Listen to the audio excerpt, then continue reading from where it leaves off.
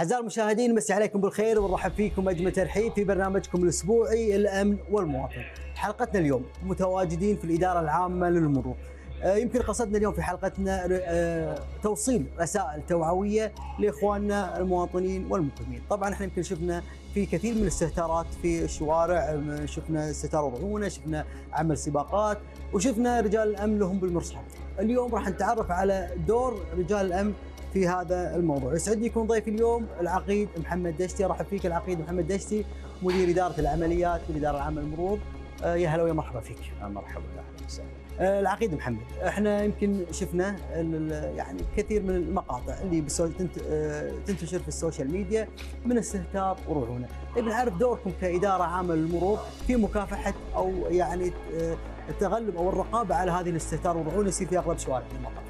بسم الله الرحمن الرحيم. أول شيء عندنا إحنا في قسم عمليات المرور في الإدارة العامة للمرور. عندنا كذا طريقة لردع الاستهتار رعونه من بلاغات أو انتشار في ال social media. عندنا آه، أول شيء عندنا قسم العمليات تلقي البلاغات من المواطنين عن طريق الهاتف 112 وعندنا طرق أخرى أيضا عن طريق كاميرات المراقبة التحكم المر- المركزي اللي عندنا ترصد بعض الاستهتار. في وضع zoom على اللوحات ال- ال- اللي تقوم بالاستهتار.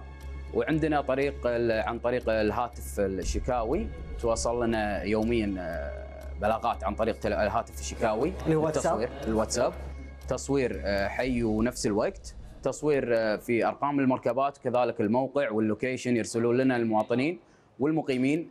في نفس الوقت بدورنا نقوم نرسل عن طريق غرفة العمليات الدوريات اللي ردع المخالفين في هذه الطريقة، طبعا عندنا آه، سبل آه، كثيرة في آه، الردع طبعا راح يتكلمون فيها الأخوان المتخصصين في البلاغات، إحنا طبعا من هني ننقل البلاغ وهم يتصرفون وعندهم طريقة التصرف مع المخالفات الاستهتار والرعونه في كل ما توصل لنا من آه، مثل ما بلغتك في العمليات في الاتصال أو في ال- الواتساب أو في الع- قسم التحكم المركزي. نعم.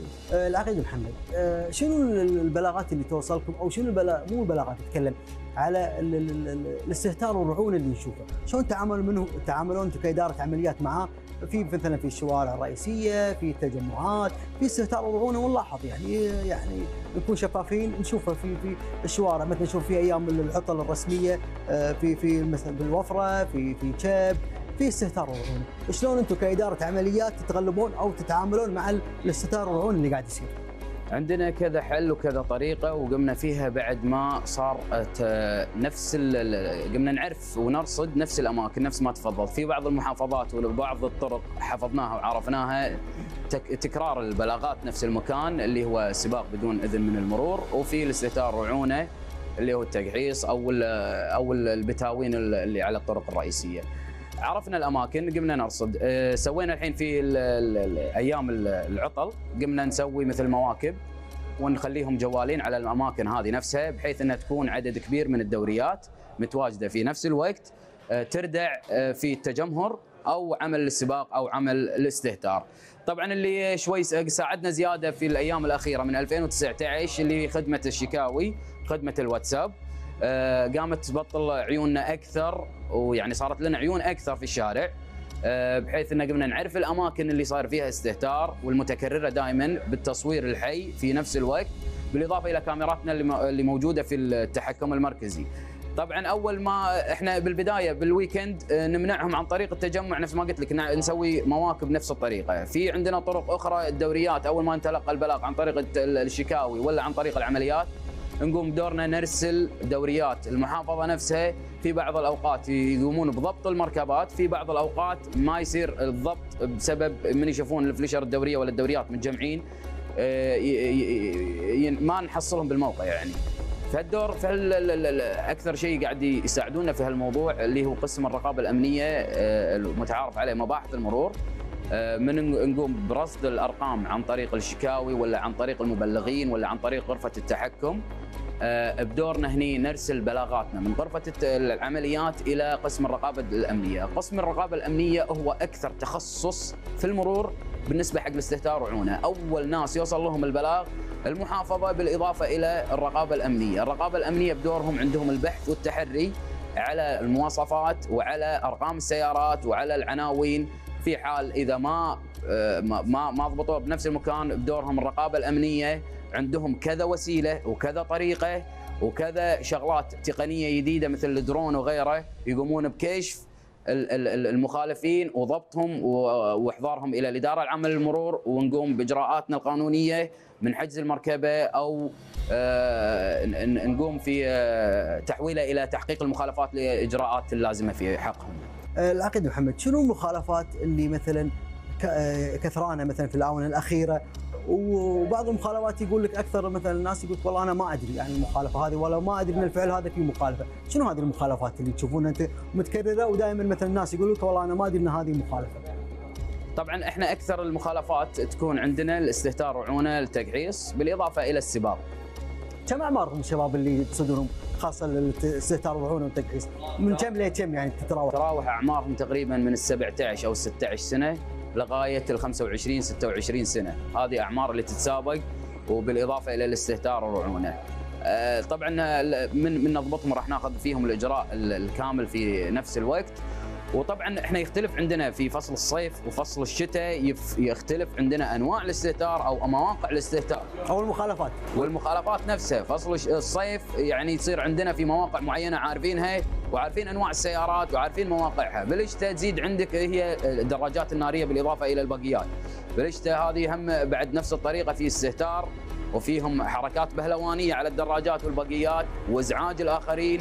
آه، الكل عارف إن البقيات تمشي في بين الفرجان وعند البيوت وهذا طبعا كله ممنوع.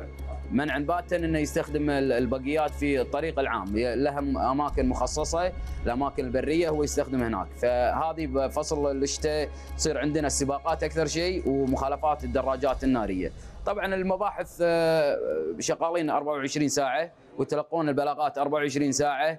بدورهم آه، هم 24 ساعة بحث وتحري. طبعا أنت عارف اليوم أعداد السيارات في دولة الكويت آه، نقول ما نقول الكل نقول يعني نسبة كبيرة في منهم في آه، في يقومون في الاستهتار ورعونه أو اليوم نشوف في ال social media الناس قاعد تبطل عيوننا قاعد ينتشر فيديوهات.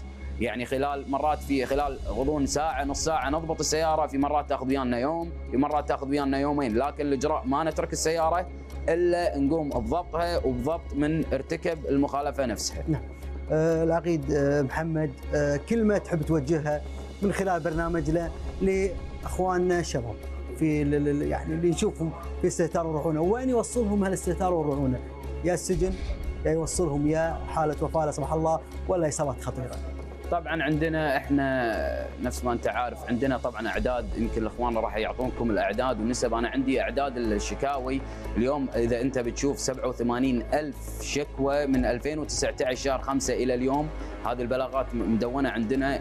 وطبعا نقول الأكثر منها كانت هي الاستهتار والرعونه وتعاملنا ويا الكثير منها وضبطناها. اليوم أنا أنصح أخواني مستخدمين الطريق بالأخص الأعمار اللي ذكرتها من 16 سنة إلى 25 سنة، طبعا من 16 إلى 18 سنة أنصحهم إنه ما يسوق السياره إلا بعد آه، اخذ الليسن. حصول على الليسن. نعم. إخواني اللي من أعمار نقول من 18 إلى 25 آه هذا راح يؤدي إلى إجراء قانوني آه صارم يعني ما حد راح يتساهل فيه. راح يتحول إلى تحقيق المخالفات. تحقيق المخالفات مجزء في ناس منهم آه، ينحالون نفس الوقت ونفس الدقيقة ينحالون إلى محكمة. وعندنا بعد إحصائيات على المحكمة إنه يحولون إلى المحكمه ويأخذون حكم شفنا في أحكام طلعت للعقيد محمد في الآونة الأخيرة اللي فيها فيها سجن كان أكثر من حالة يمكن أعلنا عنها في وزارة الداخلية إنه تم تحويل هالمستهترين إلى آه، سجن آه، خذوا له شهر ولا شهرين ولا ثلاث ففي حالات سجن قاعد توصل له. يعني نفس ما قلنا يا أن أنت بالاستهتار يا أن السجن أو أن وفاة أو المستشفى. يعني هذا المثلث ما راح تطلع منه في الاستهتار والرعونه صحيح. اليوم أنت تدري اليوم عيون الناس كلها منصبة علينا هني بغرفة العمليات. لما أنا أجيب حق ال- ال- ال- المحكمة أو أو حق الادعاء اليوم لما أجيب له تصوير حي ويشوف الواقع بعينه يعني هذا شيء يعني ثابت عليه. في ناس قاعد تاخذ أسبوع ناس قاعد تاخذ أسبوعين سجن في ناس قاعد تاخذ شهرين نفس ما تفضلت. قاعد ينسجنون وقاعد تنفذ عليهم بنفس الوقت وقاعد يحالون إلى المحكمة ويدعون نفس الوقت. يعني ما ينطر عليه وقت وياخذون الحكم ياخذون الحكم نفس الوقت ويودع على طول في نظارة ال- ال- المرور أو أو الجهة المختصة يقومون باستلامه. آه، العقيد محمد آه، كل الشكر لك. ونتمنى يعني مزيد من الجهد آه، لحفظ آه، شبابنا انت واللي يعني كرجال امن تحفظون الشباب من هالاستهتار والرعونه تحفظون العوائل من هالاستهتار والرعونه اللي نشوفها كل الشكر لك العقيد محمد. عفوا عقيد ناصر أعزائي المشاهدين لازلنا مستمرين في برنامجنا. تابعونا.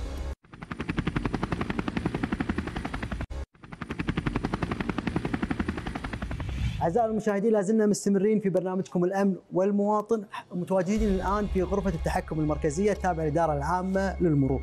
طبعا هذه الغرفة على مدار الساعة تعمل لحفظ الأمن والأمان ومراقبة الحركة المرورية. وراح يكون ضيفنا الآن رئيس قسم غرفة التحكم المقدم آه، عبد الله أبو رحمه أحب أحييك آه، عقيد ناصر سيدي بغرفه التحكم المركزي انت والاخوان المشاهدين. آه، طبعا ال- ال- المقدم عبد الله إحنا شفنا يمكن آه، آه، إخوانك رجال الأمن متواجدين في مراقبة الحالة المرورية والأمنية من خلال الكاميرات المنتشرة على شوارعنا الرئيسية.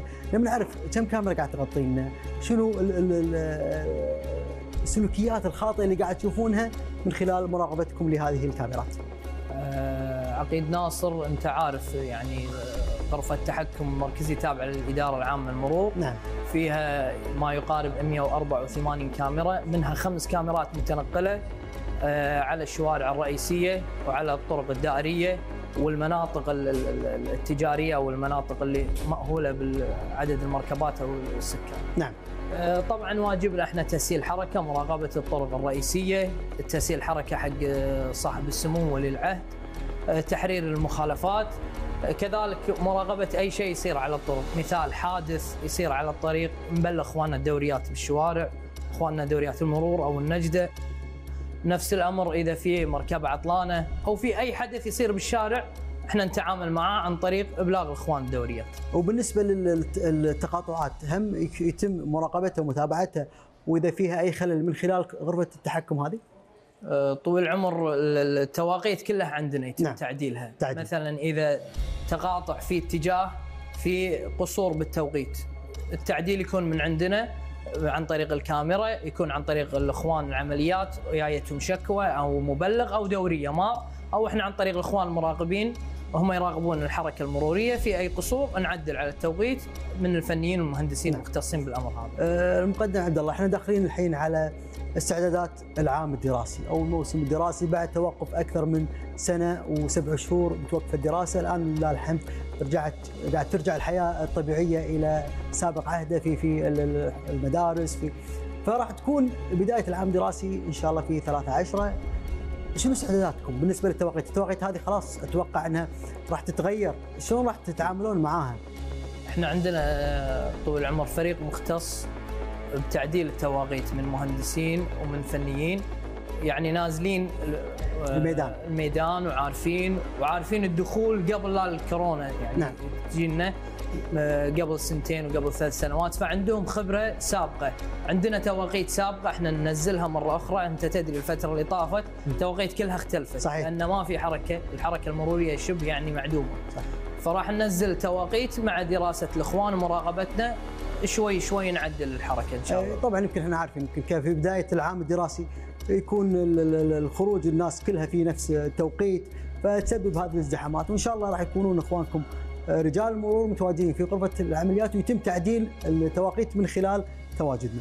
آه كل الشكر لك المقدم عبد الله أبو رحمة ونتمنى لكم التوفيق وكل الشكر لإخوانك وأخواتك اللي متواجدين في غرفة التحكم لمتابعة الحالة المرورية، كل الشكر لك. مشكور طال عمرك.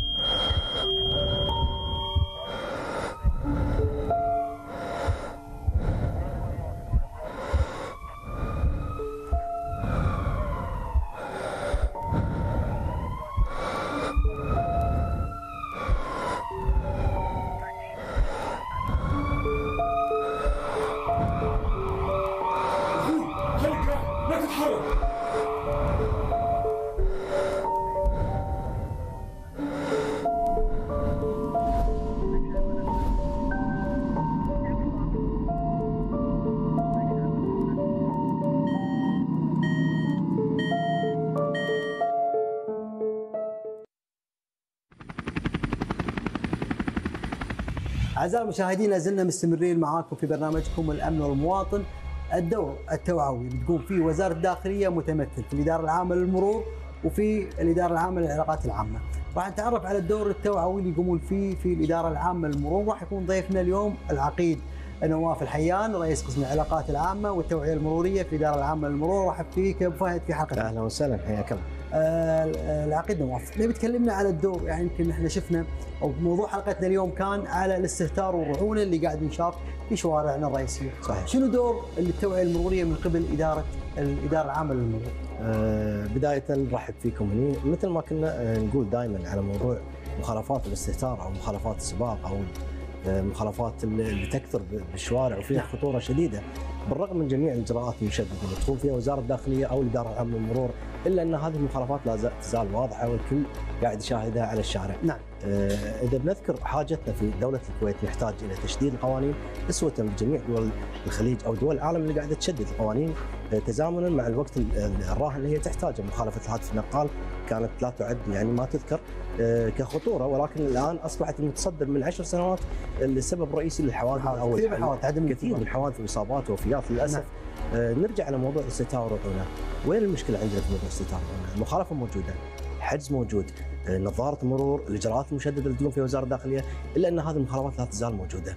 إحنا نحتاج قبل وصول التوعية أن نوصل التوعية إلى المنزل الأسرة نفسها. يجب أن يكون الوعي موجود لدى رب الأسرة آه، لدى الإخوان الكبار في الأسرة لدى الإخوان في وزارة الأوقاف من خلال خطب المساجد آه، من خلال مدارس. يجب أن توصل هذه التوعية من خلال حتى المدارس ابتدائي الثانوي المتوسط جميع المراحل. ولكن خلني استوقف عند شغلة واحدة. إذا كنا نعتبر الشغلة هذه كمخالفة هم يعتبرونها المخالفين يعتبرونها كهواية. ك... كهواية؟ نعم. يفترض أن يكون تنظيم لهذه الهواية. عندنا كثير من المضامير والساحات اللي ممكن انها تنظم ل... ل... ل... لهذه الفئة من الشباب المكان ال... ال... الآمن لهم من حيث. الساحة، السيفتي موجود، الطوارئ الطبية موجودة، الدوريات، المطافي. ولكن للأسف يعني لا يتم توفيرها بالقدر الكافي بالرغم من إن هذه آه، تعتبر مخالفة خارج المكان المسموح فيه إلا أن داخل المكان المسموح ممكن تقلل يمكن ما تمنع المخالفة بشكل تام نعم. ولكن على الأقل راح تخفف بشكل كبير جدا نعم. نتمنى إن شاء الله نشوفها وتسحب هذه الطاقات من الشباب مثل ما كنا نقول يعني الأولاد لو كانوا نمنعهم من لعب الكورة في كل مكان راح يلعبون في البيت ويسوون لنا مشكلة فنتمنى إن تتوفر هذه الأماكن آه، بالقدر الكافي والفترة الزمنية الكافيه وحتى لو كان فيها رسوم بسيطة آه، فتستقطب بالعكس هذا ال- ال- الامن والامان يكون. تستقطب عدد كبير من الشباب فيفرغ طاقته في المكان هذا آه، ولا إنه ياخذها على الشارع ويسبب خطورة عليه وعلى غيره. نعم. آه، العقيد نواف شنو الدور التوعوي قاعد تقومون فيه في الإدارة العامة للمرور؟ شلون قاعد توصلون حق الشباب خاصة الآن يمكن الفترة ما رجعت الجامعات أو ما رجعت المدارس الآن يمكن راح ترجع إن شاء الله في قريب العاده. نعم. شنو الدور التوعوي قاعد توصلون؟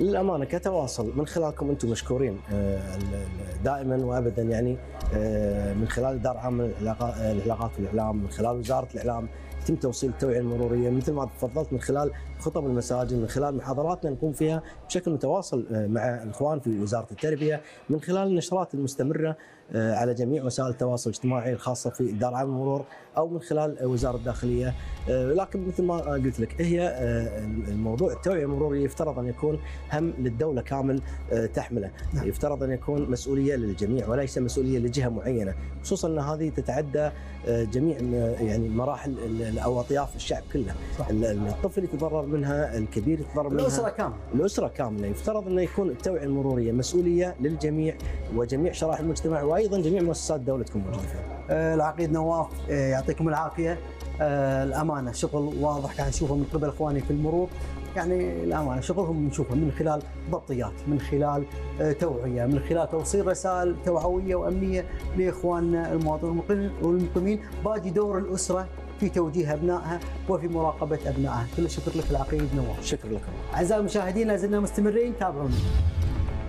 أعزائي المشاهدين لازلنا مستمرين في برنامجنا الأمن والمواطن والآن متواجدين في الإدارة العامة للمرور في قسم العمليات. نتعرف على الدور اللي يقومون فيه إخوانكم رجال الأمن والإدارة العامة للمرو- للمرور ومباحث المرور في التصدي للممارسات الخاطئة من استهتار ورعونة في شوارعنا الرئيسية. آه، معنا المقدم فهد محمد الجمعة رئيس الرقابة الأمنية في الإدارة العامة للمرور رحب فيك المقدم فهد. آه، المقدم فهد آه، إحنا شايفين آه، يعني في استهتار ورعونه آه، في شوارعنا في في في في بعض الأماكن المخصصة وشفنا في الآونة الأخيرة يمكن دور كبير لمباحث المرور في ضبط هذه المخالفات. نبي تكلمنا على هذه ال- ال- المخالفات ودوركم في ضبطها في الإدارة العامه. بسم الله الرحمن الرحيم طبعا إحنا بالقسم الرقابة الأمنية تخصصنا المخالفات الجسيمة منها الاستهتار والسباق. أه، الحين إحنا داشين على موسم الشتاء وغالبا راح تكون في زيادة في الاستهتار بسبب أه، هطول الأمطار. نعم. طبعا إحنا من الآن حاطين خطة إن مراقبة كل الأماكن والمناطق اللي تحدث فيها الاستهتار. أه، أغلب الأماكن يعني معروفة للكل. نرصدها عندنا أكثر من طريقه كذلك عندنا الدوريات شغالة 24 ساعة بخصوص الاستهتار. وبالإضافة لخدمة الواتساب. تقدر تطرش أي أحد يقدر يطرش الشكوى اللي يشوفها قدامه استهتار صباغ ما شابه. إحنا بدورنا راح نستلم الشكوى. راح نطلع عليها الدوريات. ما حصلنا السيارة بالموضع راح نتوجه للبيت. راح نسلمه تكليف بالحضور. إذا ما امتثل بالتكليف بالحضور عندنا أكثر من إجراء نقدر نتبعه إذا ما امتثل في الحضور نعم. في في السابق كان ال- الضبط فقط عن طريق الدوريات الحين كثرة الطرق نقدر آه، نراقب نقدر آه، نستقبل شكاوي نقدر حتى مواصل التواصل الاجتماعي جميعها مراقبة أي شخص راح يصور نفسه وهو يستهتر راح نقدر نحضره سواء السيارة كانت كويتية أو غير كويتية موجودة عندنا- في الكويت. موجودة في الكويت نعم. عندنا ربط كامل لجميع بيانات السيارات نعم. أكثر الشباب يستهترون بلوحات غير كويتيه يعتقد إن إحنا ما راح نقدر نوصل له وما نقدر نطلع بياناته. هذا الكلام غير صحيح. نقدر نطلع بياناته وفي مواقف حصلت وفي شكاوي عندنا حصلت وهذا تقريبا 90% من شغل القسم اللي هو الاستهتار. زين ال- ال- المقدم فهد نبي نعرف دوركم أنتم كمباحث مو, مو بدون البلاغات يعني أنتم في في أماكن آه، يعني نشوفها ملاحظ. يعني مثلا أنا أقول لك إياها في في الوفرة في جسر جابر في منطقه شد في أماكن معروفة وأوقاتها معروفة. يعني في في الخميس الجمعة الويكند. شنو دوركم أو شنو الحملات اللي تسوونها أنتم في في في التصدي لهذه الاستهتارات وهذه الأعمال في استهتار صح طبعا إحنا نشارك آه، دوريات المرور بالنسبة حق الحملات، الحملات مستمرة على طوال أيام الأسبوع، إحنا نكثف نشاطنا أكثر من الدوريات في أيام نهاية الأسبوع والعطل الرسمية.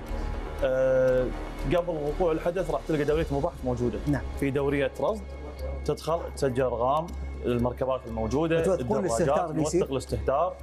وبالإضافة إلى هذا دخلنا طيارة الدرون. حاليا قاعد نستخدم طيارة الدرون توثق السباق والاستتار بشكل كامل مع أرقام السيارات. ما حد يقدر يعترض على مخالفة كل شيء موثق. اللي بيتكلمنا على يعني المقدم فهد. يمكن أنت في في في الشارع والميدان على ما يقولون. شنو قاعد تشوف من استهتار ورعونة؟ شنو مواقف مرت عليك من استهتار ورعونة وتحب توجه من خلال من برنامجنا توصل رسالة لإخواني الشباب؟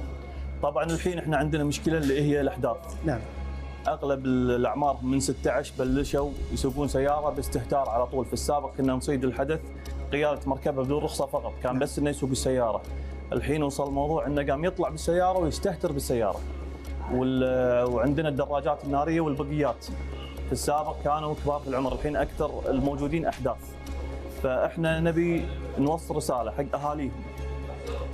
ولدك ما كمل السن القانوني لا تسلمه سيارة حفاظا عليه وعلى اللي معاه بالشارع. نعم. قاعد نشوف إحنا البوكسات واللقطات اللي هي يعني كلها لقطات حية من من استهتار من رعونة وضبطياتكم أنتم كإخوان في في في المرور ومباحث المرور آه، يعني الآن نتكلم إحنا داخلين على آه، مثلا الجو تعدل يعني في كثير من الأماكن قاعد وين تكون اللي تشوفون الاستهتار والرعونه وين يكثر في في أماكن معينة في أماكن البحر في خيران وين تشوفون تلاحظون هذه الأماكن؟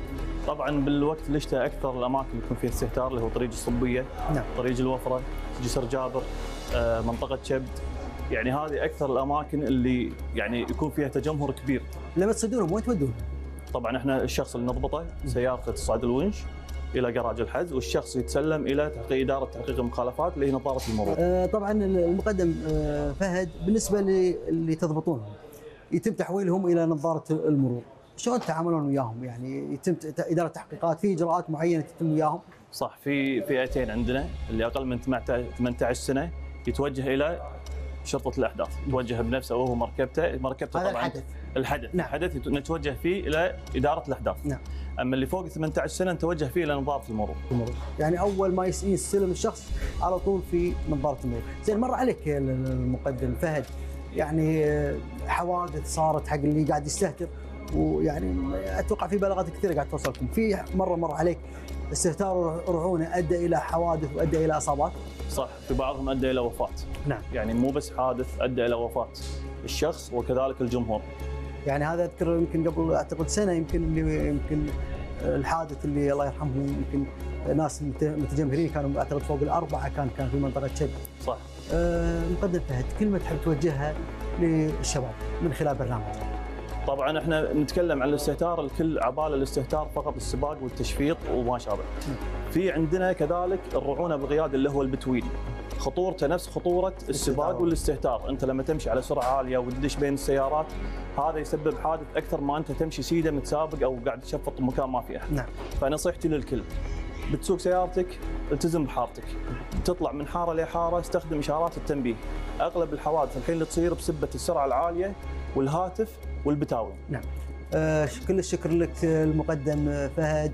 ونتمنى توصل رسالة آه، رسالتكم أنتم في الاداره العامه للمرور هي الرساله اللي نحاول نوصلها ورسالة مرورية الحفاظ على الأمن والأمان في وصحتهم وسلامتهم صح. يعطيك العافية